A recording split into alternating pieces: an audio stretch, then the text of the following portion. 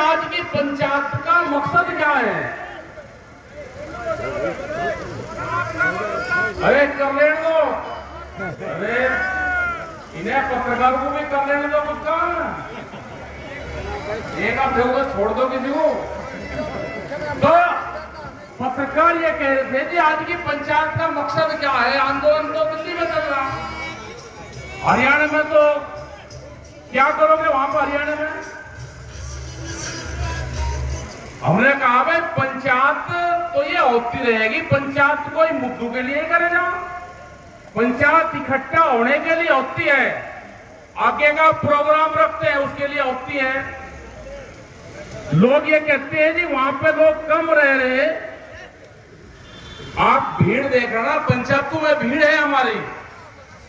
वहाँ पर तो अगर आंदोलन पर तो झंडा भी गड़ा रहेगा तो उसकी भी हिम्मत नहीं। कोई झंडा भी हमारा उखाड़ पीछे को लो पीछे को। हमारा घर बन रहा है वहाँ पे। वहाँ पे लोग रह रहे हैं वहाँ पे। और हमने ये कहा कि आंदोलन कितना लंबा चलेगा, इसका ये भी पता नहीं। अपने घर का काम ना बिगाड़ो, अपने खेत का काम करो और दिल्ली का आंदोलन का काम करो। बहुत सी चीज़ें, प्रस्ताव हमने किए हैं वहाँ पे भी।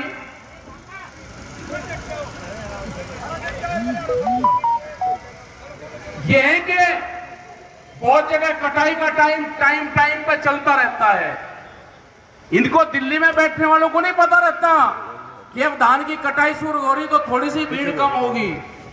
हमने कहा कि मध्य प्रदेश की कटाई होगी तो वहाँ के लोग आ जाएँगे। यहाँ जब कटाई होगी यहाँ के घर रह लेंगे दूसरे वाले आ जाएँगे। आंदोलन हमारा जारी रहेगा अगर आंदोलन 11 महीने से किसान घर नहीं गया तो ये चीज़ तो भूल जाओ कि ये किसान बगैर कानून वापसी और एमएसपी के गारंटी पे ये घर जाएगा। इसने सीख लिया दिल्ली में कैसे रहना है? दिल्ली की चमचमाती सड़कों पे ये किसान कैसे रहेगा?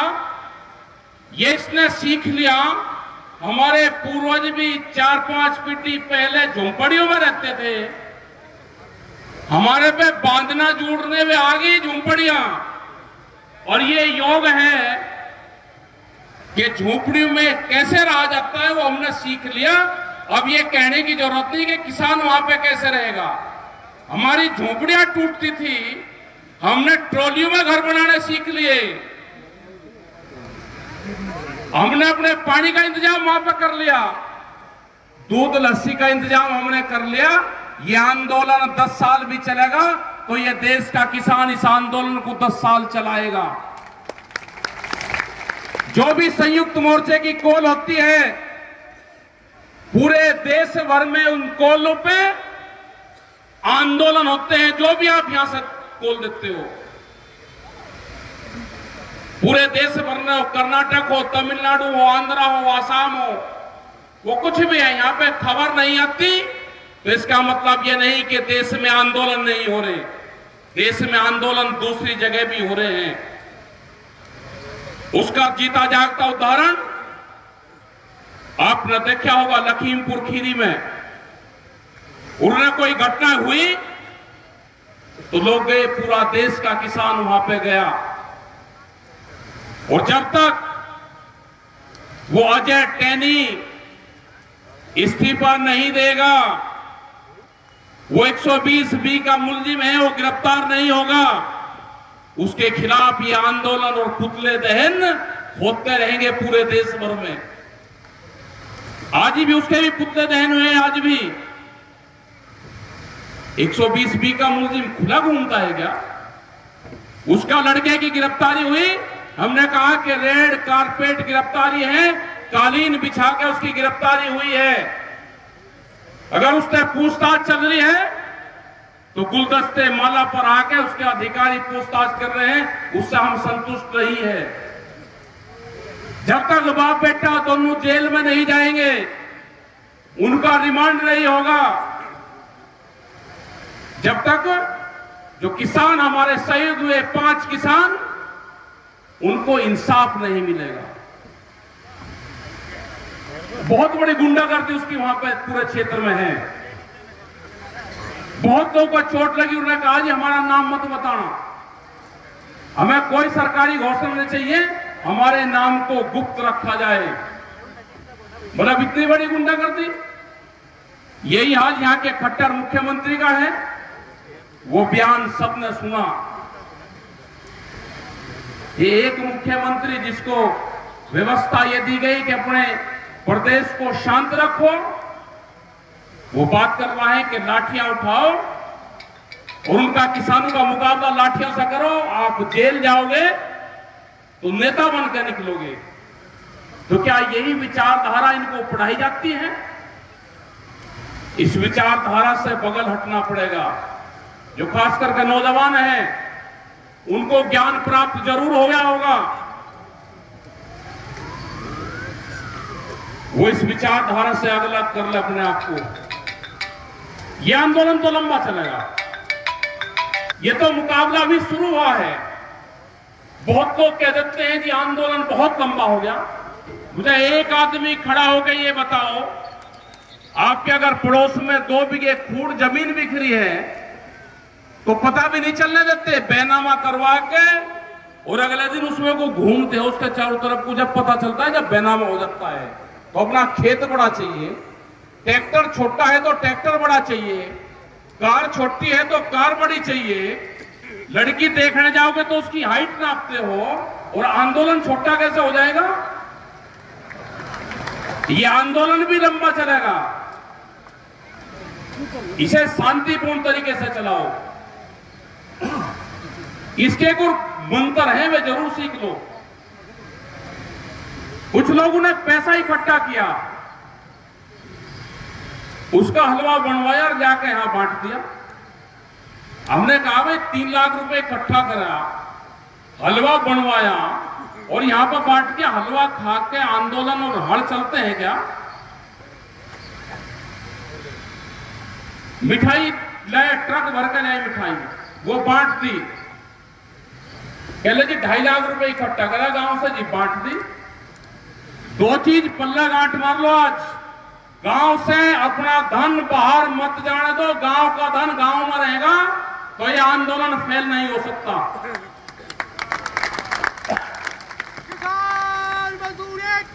वहाँ पे बहुत चीज़ की ज़रूरत पड़ती है। वहाँ पे हलवे खा के और मिठाई खा के आंदोलन नहीं हो सकते।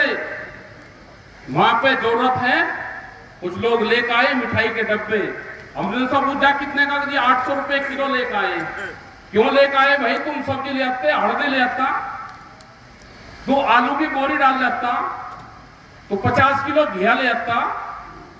ये तय कर लो कि आंदोलन में वहाँ पे जाओ। हल्दी, मसाले पातड़ पानी, सारी चीज़ चाहिए वहाँ पे। वहाँ पे मिठाई नहीं चाहिए। इन चीज़ों का ध्यान रखो। अपने गाँव का जो चंदा है, गाँव में रखो। वहाँ पे ज़रूरत हो, जो जिस भी चीज़ की, उसको वहाँ पे भेजो, उससे ही आंदोलन चलेगा। ये कहते हैं कि बाहर से फंडिंग हाँ आती है भाई, हमारे गाँव से फंडिंग आती है। जो आटा, दाल और चावल लेकर आते हैं, जो सब्ज़ी लेकर आते हैं, उनकी लिस्ट देंगे हम, उनके खिलाफ मुकदमा करो। ये हमारे ताऊ चाचा यहाँ पे बैठे हुए हैं, ये आटा, दाल भेजते हैं वहाँ पे। इनके घर में धान पैदा होता है तो चावल भेजते हैं वहाँ पे। इनके खिलाफ मुकदमा लिखो। ये आंदोलन तो दाल आटा चावल से चल रहा है, इसमें फंडिंग ढूंढो। अगर किसी ने दो ट्रक बाँस भेज दिए तो उसको फंडिंग बताएँगे। ये ढूंढ रहे हैं सब लोग। हमारा 40 जो इसके मेंबर हैं, जिसमें देश की जनता ने विश्वास करा है, वो एक भी कड़ी कमज़ोर नहीं है। ये आंदोलन जो साढ़े पाँच सौ किसान संगठन है, उनमें जिनको 40 लोग चुने हैं उनमें, जो संयुक्त मोर्चे के लीडर हैं, वो पूरे देश भर में जाते हैं। उनको मान सम्मान से वहाँ के जनता बुलाती है। उन पे पूरा विश्वास देश की जनता को है। यह आंदोलन चलता रहेगा, आप उन पे विश्वास कर कर आपको। कोई भी कड़ी कमज़ोर नहीं है। और भारत सरकार बार बार झूठ बोलती है। वो कहती है जी, एक कोल की दूरी पे हम हैं, हमसे बात नहीं करते। जो एक फ़ोन की बात करते हैं, उसका एक डाटा हमने निकाल कर दिया, एक रामपुर डिस्ट्रिक्ट है, मुरादाबाद मंडल में। उसमें 11000 किसानों के फर्जी कार्ड उसी एक फ़ोन से बनाए गए। किसानों का रजिस्ट्रेशन होता है वो वहाँ से डाटा उठाते हैं, जो सिम है, सिम लेते हैं किसानों के नाम पे। उसे एक फ़ोन करते हैं, उस पर ओटीपी नंबर आएगा, उस फ़ोन को बंद कर देंगे, उस पर फ़सल बेचते हैं। ग्यारह हज़ार फर्जी किसान अकेले रामपुर डिस्ट्रिक्ट में 200 करोड़ रुपए का घोटाला एक ही ज़िले का भी दिया है। अभी यहाँ पे भी आपके यहाँ सेलर बहुत लगे हुए हैं। बहुत खरीद हो रही है। आप जरा एक बार ये पूछ तो लो कि यहाँ से दो से ढाई हज़ार ट्रक अभी हर रोज आ रहे हैं धान के। बिहार से आठ सौ रुपया क्विंटल, उत्तर प्रदेश से ग्यारह सौ से बारह सौ रुपये क्विंटल। एक व्यापारी 40 से पचास हज़ार क्विंटल धान बेचता है। एक किसान अपना 50 क्विंटल नहीं बेच पाता। वो कहा जाता है? ये सस्ते में खरीद के और एमएसपी पे बेचने का काम करते हैं। ये हज़ारों ट्रक हर रोज आते हैं आपके हरियाणा में। इनको भी जरा पकड़ दो, कहाँ से जा भाई, किस रेट में खरीदते आप? ये किसान का नहीं है। ये बड़े बड़े व्यापारी लगे हुए हैं और आपको भी इसीलिए दिक्कत हो रही, ये खरीद नहीं हो रही। आज बोलते हैं कि कितनी ज़मीन है उसको खरीद होगी। आज से पहले तो हरियाणा के भरोसे उत्तर प्रदेश के जितने भी ज़िले लगते थे, हम यही बेचते थे अपने जिन्नत उसी रेट पर बिकती थी। आज हालात ये होगी कि हरियाणा के लोगों का भी नहीं बिक रहा। यही हाल बाजरे का है। यही हाल मक्का का है। ये जो एमएसपी गारंटी की जो बात करी गई है एमएसपी गारंटी ये नहीं सरकार खरीदे बाज़ार इससे नीचे पे ना खरीदे, किसी को व्यापार करना है तो उसके नीचे पे खरीद नहीं करेगा। ये कानून चाहते हैं।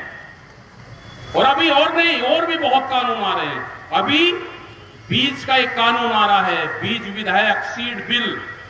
वह हाउस में रखा हुआ है पार्लियामेंट में। जिस दिन वो आएगा, ये थाने खुलेंगे नहीं। बीज के थाने खुलेंगे हर जगह। उसकी कंप्लेंट होगी कि इस किसान ने मेरे बीज की चोरी करी है, वो कंपनी वाला मुकदमा करवाएगा, पुलिस उसकी जाँच करेगी, और आपने अगर किसी का बीज बोल लिया कहीं से खरीद के, आपके खिलाफ मुकदमा और सजा दोनों है। अभी तो नया आ रहा है साम ये जो कहते हैं ना कि कोला खत्म होगा देश में देश में कोला खत्म नहीं हुआ देश की बिजली को बेचा जाएगा, बेचा। कोला नहीं खत्म हुआ। बिजली बेची जाएगी, नौ बड़ी कंपनी आ रही है देश की बिजली खरीदने।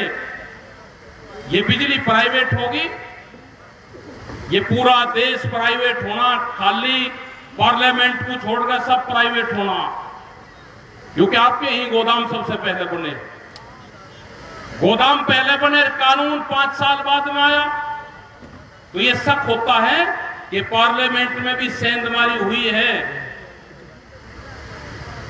तो मुकाबला तो करना पड़ेगा। और मुकाबला जो दिल्ली में आपका आंदोलन चल रहा, जो पूरे देश भर में आपके आंदोलन चल रहे, और हमेशा टिकैत साहब एक बात कहते थे कि जिस दिन हरियाणा खड़ा हो जाएगा, पंजाब अपने आप जुड़ जाएगा उत्तर प्रदेश और पूरे देश को हरियाणा जोड़ने की सामर्थ्य रखता है। तो टिकैत साहब के टाइम पे तो नहीं हुआ। लेकिन आज इशू सबका एक है। अपनी ज़मीन, अपनी फ़सल और नस्ल बचाने का, देश का बाबा राम, भीमराव अंबेडकर का संविधान बचाने का, आज वो टाइम अब आया है कि ये देश का संविधान कैसे बचेगा, देश की फ़सल और नस्ल कैसे बचेगी, देश का मजदूर कैसे बचेगा ये टाइम अब आ गया है हरियाणा की। इसमें बहुत बड़ी भूमिका है। यहाँ की खाप पंचायतों का बड़ा रोल है। पंजाब आपके साथ में जुड़ रहा है, उत्तर प्रदेश है, राजस्थान है। और अगर दिल्ली के चारों तरफ़ के सब लोग जुड़ रहे हैं तो पूरा देश के किसानों के भाग्य का फैसला ये दिल्ली के धरने करेंगे। आपको बड़ी आस है वहाँ के लोग। अभी हम छत्तीसगढ़ में गए। यहाँ के बहुत लोग मिले जिन्होंने वहाँ पे फार्म बना रखे हैं। वे आंदोलन के साथ में बड़ी पंचायत करेंगे। दो पंचायत उन्होंने तय कर ली कि दिसंबर के आसपास हम पंचायत रखेंगे वहाँ पे। बड़ी बड़ी भीड़ें हो रही है सब जगह जो संयुक्त मोर्चे के लोग जा रहे उनको बड़े चाव से सुनते हैं। तो आपका धन्यवाद है। सागवान जी का भी धन्यवाद है, जितने भी यहाँ पर लोग आए हाँ पंचायत के लोग आए, उनका भी धन्यवाद है। इस तरह की पंचायतें होती रहे तो ही दिल्ली का आंदोलन मज़बूत होगा और दिल्ली के आंदोलन में ध्यान रखें कि जो लस्सी, दूध, सब्ज़ी, ये चीज़ भिजवाते हो, इनको कंटिन्यू आप भिजवाते रहें। मिठाई, हलवे की ज़रूरत नहीं है अभी। वो तो वहाँ मोर्चे पर अपने आप जिसको ज़रूरत होती है, वे भंडारे बाप जो चलाते हैं, वे बना देंगे।